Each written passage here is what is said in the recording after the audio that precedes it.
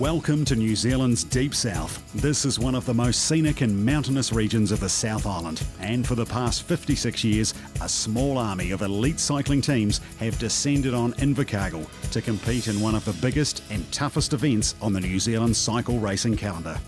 Over the course of seven exciting stages, the assembled teams will face everything the roads, terrain, and weather of the region can throw at them. At the end of the week, the best cyclists will take home the titles and the jerseys money can't buy. This is the 2013 SBS Bank Tour of Southland. Each stage of this race will be in, in its own an epic because there's no soft stages in this year's edition of the Tour of Southland. The teams will be trying to maximise the climbers in, in the race because it is definitely a climbers race this year. You've got stages up Bluff, Black Mount and now Coronet and it will be a climber that can survive the bits in between those climbs that can potentially win this race. We could see a, a, a winner of this race who is someone that you haven't thought of before the start. The race for the yellow jersey started yesterday with the team's time trial prologue, a short, sharp four kilometre punch around Queen's Park, right in the heart of Invercargill. The weather gods smiled on the peloton as beautiful, clear, and calm conditions greeted the field for the race's opening. A big crowd descended on Queen's Park for the annual Family Day that traditionally starts the event. A ride through the park, the official team's presentations, and plenty of fun giveaways for the kids started the action. But the real drama began when the first of our teams left the start line. Team Ultimo had the honour of first team away, and each of the 15 teams followed at two-minute intervals, including the popular local combination of H&J's Outdoor World Avanti Plus headlined by New Zealand track representative Cameron Karwowski and junior world track medalist Liam Aitcheson. The youthful Trans Tasman combo from South Shore Insurance with Australians Craig Evers, Craig Hutton, and Matt King. And newly sponsored Pure South Alliance Group, the most international of this year's lineup, led by reigning world individual pursuit bronze medalist Stefan Kung from Switzerland. Powernet, featuring former national road champion James Williamson and former Tour stage winner Roman Van Uden, roared home to complete the 4.2 kilometre circuit in 4 minutes 48 to put Paul Odlin into the Jesco Hydraulics King of the Mountain jersey. Kiwi Velo Armstrong Prestige, including Harcourt sprint ace James Oram, and last year's champion Mike Northey claims second overall in 4 minutes 46. But in the end, opening day honours went to Huon Salmon Genesis Wealth Advisors by a wafer thin margin, just four one hundredths of a second, to put team leader Joe Cooper into the first yellow jersey of the 2013 SBS Bank Tour of Southland.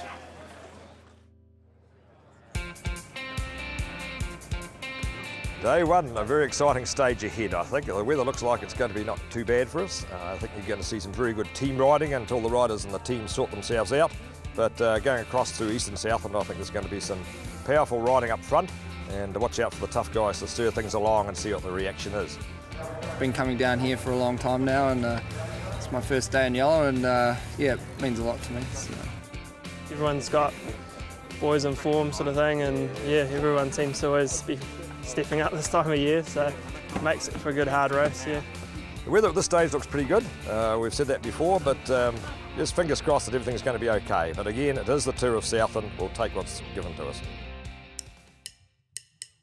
Stage one of the SBS Bank Tour of Southland takes the teams into Eastern Southland. This is an area rich in character and scenery, with a colourful history of gold rushes and moonshine whisky. It's now known for its trout fishing, agriculture, and its outstanding museums, galleries, and music festivals. The best that rural Southland has to offer. Stage one is a very, very tough stage to start this race with. It's very unpredictable, there are lots of crosswinds, there's lots of climbs between here and Gore, and you've got a very tough loop out the back of Riversdale to contend with before you finish back in Gore. This stage can be broken into three parts, crosswinds for the first 50 kilometres, headwind and hills for the middle part, and then cross tailwinds for the last 50 kilometres. I don't think you can win the tour on this stage, but you can definitely lose it. Very tough way to get started. The organisers um, love putting in a lot of preems all the way through, so the sprinters are all go from the start, and that's when the brakes go, and that's when the field splits. So this stage is going to be all guns blazing, right from word go. There are a lot of sprints. You've got to be near the front because as soon as you turn out of that industrial zone, we're in quiet roads and we get hit by crosswinds from the left. From there, usually the field splits into echelons and only the strongest survive in echelons. There are a number of stages in this year's race which you would call key GC stages for the guys who are contending to win the race. This first stage is definitely one of them. If they can get through this stage in one piece and, uh, and not too far down in time, then they'll be pretty well placed. So here we are in the neutral section of Invercargill here on stage one past New River School. Doug, big field, fantastic looking day for it. Fantastic conditions. There's a lot of riders would have woken up this morning, Julian, and gone, thank goodness for that. It's great to see the support from all the schools. It is a major feature of the SBS Tour of Southland. Southland Girls High School is where they dropped the flag here for 167 kilometres and straight into it with the early sprints here. Only the first few kilometres, Doug, a tour which is well known for its sprints. This start is very, very fast, and you can see here we've already got a couple of riders. That looks like Carl Murray off the front already. We're looking at the back of the peloton here, Julian, and you can see the speed that they're going already. We've got a left hand and a right hand coming up, and it is very, very tricky. You're right, the big figure of Carl Murray's been down here a number of times over the years and has experienced the green jersey, and this is the sort of thing he'll do day in and day out, going off the front, searching out those early sprints. Yeah, it's great to see. This is the kind of aggressive starts you see constantly in the Tour of Southland. And you can see here the riders are going to have a hard right hander into Ōtepuni Avenue. And from here, it's just all going to split apart the young man there from South Shore, and that has now got himself onto the wheel of the big man. He's been in the green jersey, but here we go with Zenovich and co trying to get themselves into the mix as well, Doug. Yeah, here we can see some of the sprinters who fancy themselves trying to win some of these points. Remember, Julian, they're not only points for first and second, they go back further than that. You can see there's the first prem there on the road, but uh, this start is very, very quick, and with Carl Murray being away, it's going to be interesting.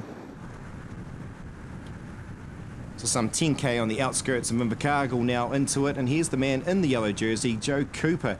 And they're just keeping an eye on proceedings, but they've let this man disappear, Doug. Roman Van Uden, the former winner of the green jersey. Yes, Roman Van Uden has really signalled his intentions right from the word go coming into um, Avenue. You can see some action now starting to happen from the peloton, and Roman Van Uden is really on the attack very early on. Here's some counter attacks coming. This looks like Gordon McCauley from the Barry Stewart team, and uh, this is very characteristic of Gordon, of course. Absolutely, Doug. No surprises there to see if there's a break happening. You can just about count out, count on him to be the man out in front. Of course, a former two-time winner of this tour, but the rest of the field quite content just to follow the wheels at this point in time. Yes, there'll be some anxiety sort of being relieved a wee bit with the conditions this morning. You can see now out on the road, we're uh, panning across here again to Roman Van Uden. He's got quite a good gap and uh, he's well forward. He's having a wee peek behind, see who's reacting. This is the kind of move that these guys like attack, see who comes across, and who's coming across here? Gordon McCauley. Yeah, the former national time trial champion. Of course, he's been a medalist at the Commonwealth Games in the time trial as well. So he'll be quite content just to get out there and push the big gears. As you can see him slogging along there in the 53.11 as he tries to get himself across here towards Woodlands. Yeah, this is the kind of guy you love to see coming across to a break because you know he's going to be eager to work. He loves breakaways, he loves trying to get away as well.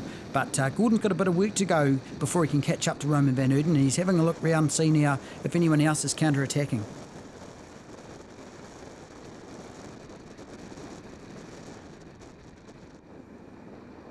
So in the space of a couple kilometres here, they've started to reel back in these boys, and here are nine riders, though, at Morton Mains, who have started to open a decent sort of a gap on the field. That's happened very quickly, Doug, already out to a minute and a half. Yeah, this is the kind of thing you expect to see in the um, in the major stage races around. There's a group gone away. You can see here that the uh, peloton we're back at the front of the group now, just having to tempo along, and uh, we've got a group of nine riders away at the front of this group. Here's the Genesis Wealth team. They're just tempoing the front, trying to control the bunch so that the chase doesn't get too organised.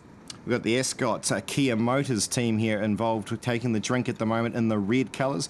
Calder Stewart also in the uh, lead group of riders here with one of the former Junior Worlds representatives here in the mix with him, and that would be Hamish Schreurs. As they come back through here, you can see the main peloton though, more than quite content just to stay in single file here and just tick along at a tempo. This is right. What often happens in these stage races, if you get a member of each of the major teams represented in the break, the onus is on the rest of the teams who aren't represented to chase. Now you can see here we're back at the front of the race. Um, there's some positioning going on here for the Preems coming into Edendale, but it's going to be very interesting to see what the mood of the chasing bunch is. We've got a good breakaway here, they're quite organised. And I think the conditions will play a part here today as well, Doug, because traditionally we've seen those crosswinds, which has made life difficult for both the break and the chasing bunch. But here today, perfect conditions, great for the kids to come back out here. Edendale, Wyndham area now as the main peloton comes on through. They're now sitting at just over two minutes over race radio. Yeah, we can see here the conditions are very pleasant. You can see the riders all stretched out in behind each other, which suggests the wind is uh, from the front. But you can see they're really taking care of their nutrition. They're making sure they're drinking and eating, and they're also having a good look around to see what's going on behind. There's uh, one of the riders there wiping his hands on his shorts. But this is a very organised breakaway. Absolutely. It's got some big hitters, and particularly the teams, I should say, the big hitting teams. So that's going to change the mood back in that main field there because they won't be chasing their own top team members here. As we look back to it, again, just back to the tempo here, and it's still sitting at around that two and a half minute mark, and it's uh, starting to open up a bit here in the good conditions. Yeah, this is very controlled here from the uh, the Genesis Wealth Advisors team. They've got a, a, a rider away in the break, Taylor Gunman, number 52, and you can see here that they're just tempoing back to the front break again. They're rolling around nicely, swapping off. You can see all the support vehicles in behind. Uh, as well. There's the tour leader, Joe Cooper, having a bit of a chat, saying, hey, what's up? Who's chasing? Who's not? Uh, there's a lot of communication goes on in the bike races that you wouldn't actually know about, Julian. No, absolutely. It's about being cool, calm, and collected, isn't it, Doug? Over this sort of a distance here, you can't always be off the front there. You've got some decisions to make, and you've got to make them pretty quickly, and hence why they've got some good teammates around them here. And again, as we see here, they're just continuing just to tempo it along here, still hovering around close to three minutes now as they start to approach towards Mataura and, and into the hills. This is a very organised ride here from the uh, Genesis team. You can see them riding at a nice tempo. The first of the hill climbs here today as we make our way out of Mataura, and of course they've categorised the hills this year for various points. Yeah, it's a, a, standard system throughout stage races, Julian, categorised through Hors Cat through to, to uh, Cat 4. And you can see some jostling for position now coming up for the first of these hill climbs. Yeah, the Ascot man, Lachlan Norris from Australia, making a bit of a, a, surge to the line here. But here goes Grayson Napier in his first ever tour, has made a bit of a surge off the front and is opening a decent gap here. And looks like he'll take out maximum points here on the Cat 2 climb. Yeah, this, this front group is going to split up a wee bit over these climbs, and you can see the riders all fighting now to catch this young rider that's away up the road. But uh, it'll be interesting to see whether the front breakaway group comes back together after this climb. It looked like number 16 there from Calder Stewart, Schreurs, and that will manage to pick him out some points for himself there. But here's the man here that was uh, proving too strong in the end, gives us a bit of a wave. It'll be interesting to see how he performs over the upcoming climbs. Yes, you can see now back at the front uh, of the peloton again, the chase is pretty sedentary. There's obviously not a lot of panic going through. Uh, the riders at the front, you can see still the Genesis team at the front. It's an all Aussie affair, the front of the group. So here's the main peloton dropping down Charlton Hill towards a Gore region here with the upcoming few more sprints through the main uh, streets. But of course, three minute gap here still to this lead group of nine riders, Doug. Yes, there's, there's nine rider group has worked very well. They've obviously come back together over the top of that preem, uh, over Waimumu, and then into Gore. It's a very, very quick um, descent into Gore. You can see once again all the school kids are out, and it'll be interesting to see what happens up this next week climb. So it's Roman Van Uden there in the PowerNet colours. That's the blue colours there towards the front here. He's been tracking along, picking up a number of points here to try and secure himself the Harcourt sprint ace as the day has proceeded here. So as we saw earlier, they've split themselves up as three or four just quite content to take out the sprints.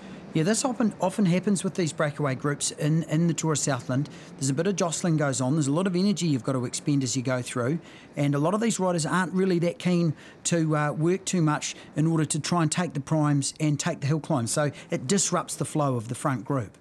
So those interested in the sprint here are lining themselves up. It's Van Uden and the young man from Australia, Craig Evers. It's up along the front of it here as our camera just follows through from the back here for safety reasons as they spread themselves across the road here into Gore.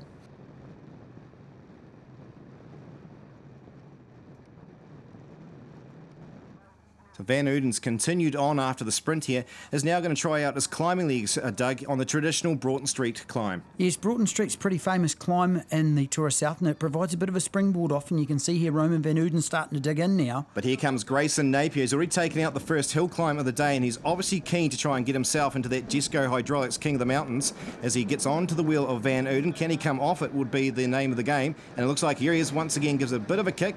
Van Uden decides he'll sit up, and that's going to be the way they'll come across the line. Yeah, there he is, Grayson Napier from the Creation Signs L&M Group racing team. Uh, they're having a good tour this year. It's nice to see these guys out on the front. He's a pretty chirpy sort of boy, this. Be interesting to see whether he's like this at the end of the stage. Absolutely, a lot of climbing to happen over the week here. And it's going to be a hard jersey to try and hold on to with the different classifications these days, and of course with Bluff Hill tomorrow. And the pace back in the front peloton's reasonably sedate. Matthew Marshall here racing for the Pure South team this year. Matthew's a local boy, races out of Otautau. Spends a lot of time in Australia nowadays, of course, Julian, but the peloton's looking pretty relaxed. Absolutely, you can see the stature of the guys there on top of the handlebars, just cruising through as we see a number of the teams just coming on through and getting a bit of a feed and getting prepared here as they hit the 100k mark, still at three minutes behind the main lead group. So with Gore 30k behind this lead group of nine riders and only 40k to the finish, Doug, they're still looking pretty good, but the time is coming down with Race Radio now suggesting only two minutes back to the peloton. Yeah, it's at this point in the race, Julian, where there's a bit of fatigue starting to set in with this front group. They've been away for a long time now. It's going to be important that they try and stay organised, and uh, it really dictates things as to how it's all going to pan out for the finish because we are approaching the finish now. So uh, we're going to have to see some more organisation from that front group. And speaking of organisation, here's the Genesis team towards the front. They've also got an H&J's Outdoor World Advantage Plus team member in the green colours. And there's the man in yellow, just uh, getting the troops, to stirring them along to make sure they keep things under control. They'll know full well the sorts of things they need to do to try and shut this down. Yeah, the Genesis Wealth team have been uh, one of the top teams in Australia. You can see there the 10k to go board. So there's not a lot of urgency in this front group at the moment, and they're going to really have to get things organised. And here goes Van Uden. The PowerNet man has decided with 10k to go, it's time to try out, see what he's like at time trialling here as he tries to open a gap. And look at the reaction. Well, basically, there is none here amongst these lead guys. I think some of these guys have ridden themselves out on the road, and they're probably just happy at this point in time to follow wheels round and are hoping to get to the stage finish before getting caught by the main chasing peloton. But Roman Van Uden, he's gone. That's opening up to 10 seconds over the radio here. He's got 10k. It's a big ask to try and hold out that group. And also here we hear the time coming through. Now the main peloton shutting it down to just over a minute to go here. The gap between them and that lead group of nine riders. As we see the radio sport team now starting to get into the mix at the front of the field. Yes, we're starting to see some organisation here. There's Matt Zenovich at the front. Once again, we're back to this front group with the, with the chasing group for Roman Van Uden. But uh, these guys have probably left their run a bit late. Roman Van Uden has definitely escaped. It's Norris sitting on the back there in the Ascot colours here. Potentially, if these guys can hold the field out, Doug, here, there's about four of them that potentially could take out not only the stage, but put themselves into yellow after the close finish in yesterday's time trial. You've got to hand it to Roman Van Uden. Here we are back at the main peloton, but Roman Van Uden is soloing away. He's tried to go for the preems, he's tried to go for the hill climbs. His intention is very, very clear in this first stage of the SBS Tour of Southland. Team Space just hiding the way into the middle of the field, one of the new teams involved in the tour this year. But this is the man they're trying to chase down to take the victory, to take the stage one here into Gore, 167 kilometres, and he's still looking pretty strong there, Doug, as he settles into a decent tempo. Yeah, he'll be wanting to get himself into a good tempo. He's probably realised now that he's committed. He's committed all his energies into getting away, and you can see him now going into a bit more of an aerodynamic position. He's got his hands on top of the hoods there, trying to get as aerodynamic as possible. But what is going on behind him will be of utmost interest to this man. What's the reaction back here? Still very quiet amongst these guys here. They're doing the maths, trying to work out who's going to try and shut it down, but not a lot of team effort amongst them. Yes, Roman Van Uden has, has really, really named down the gauntlet, and it's up to this chasing group here in order to uh, to get him back. And by looking round, like we see with uh, the young rider here at the back, number 16, uh, Hamish Schreurs, they're not going to catch Roman Van Uden with 5Ks to go looking behind them. No, 5,000 metres, and this man here is absolutely committed to it there. But the rest of that field, they'll be starting to look over their shoulders and no doubt can see the main peloton starting to bear down on them to the, into the fast finish into Gore. But this man here, he's decided it's time to go. He's going to give it everything here. It's going to be a do or die effort. Yes, Roman Van Uden, of course, he's got a track background, so it's not an unusual thing for him to be putting in a solid effort over a shorter amount of time. However, today's stage, having accumulated up up on him, this man's really digging deep and he will be at the bottom of the uh, reserves pile, I would say, and he is just hanging on. And let's not forget, of course, Doug, PowerNet, been well performed over the years. Two years ago, of course, they took it out, and it's there with young Josh Atkins, and that, so they know how to perform, they know these roads well, and they would have looked at those maps closely to make the moves. Here, here we are back at the um, remainder of that front group, and although there's some organisation going on now, uh, they may have left this too late. Yeah, Morgan Smith coming on through as well, and amongst the mix there, he's the man from the team with Gordon McCauley. But they've look, they've opened a huge gap on them all right here, and no one seems to be able to shut it down just yet, Doug. Yes, this is uh, this is a pretty pivotal point. You can see them now starting to get a wee bit more organised. There's Daniel Barry. Uh, starting to come through for the Kia Motors squad, the Ascot Park Hotel Kia Motors squad. But there's a bit of urgency that could have happened a couple of kilometres ago, Julian. I think they may have left their run a bit late. Yeah, as Murray comes through for them, Daniel Barry, I should say, onto the front here. He starts to pick the pace up. He's a man potentially could take out the yellow jersey here. So he knows there's a lot on the line, not only as an individual, but for his team here as well. As they now only have two or three of them seem to be have the legs left on them. As you said, there's a bit of cramp money starting to happen here with the King of the Mountains. Yes, this is young Grayson Napier. He's clutching a, a hamstring by the looks of things. He looks like uh, the fatigue of this stage is starting to catch up. But there you see at number 34, uh, Lachlan Norris, the Melbourne rider, sorry, he is a well experienced bike racer, has been around all over the world, and he is really throwing down everything in this group now and, and is trying to get away on his own. It's commitment plus now from this chase group here. As we've said, that's not only the stage victory here, it's potential of taking that yellow jersey amongst them, and they're giving it absolutely everything. As they look over their shoulders, they can see now that the vehicles have been moved out, and in the distance there, only at about 30 seconds, hence the vehicles disappearing, is the chasing peloton. This is a really desperate position to be in in a breakaway formation, Julian. You know you've got the peloton breathing down. You know they've had some organised chasing going on. There'll be a number of teams at the front of that peloton chasing this group. This group really has to commit themselves. You can see them peeling off the back already down the road, and. Uh, goodness me, who's who's going to take this out? And let's not forget, of course, these guys have been on the front for about 130k of this particular stage here. So she's a big effort here on day one of this SBS tour as we see the surge going off the front here and it's uh, again trying to get away as they can see the main peloton. But we're here, we got the camera on this guy here, but we know full well only about 15 seconds ahead is this man here, number 24, Roman Van Uden. Here he is, Roman Van Uden. He's been on the attack all day and he's going to stay away to win this stage in the 2013 SBS Tour of Southland. An outstanding victory, but only moments behind comes the main peloton, Cam Karwowski and their Sir of Switzerland as well. But now the calculators will be out, Doug, as they decide on who is going to take away the yellow jersey here on day one of this SBS Tour we'll definitely try and defend the yellow with uh, with a bit of pride, and um, it might change our results later in the week. But um, hey, we've got the yellow for one day at least.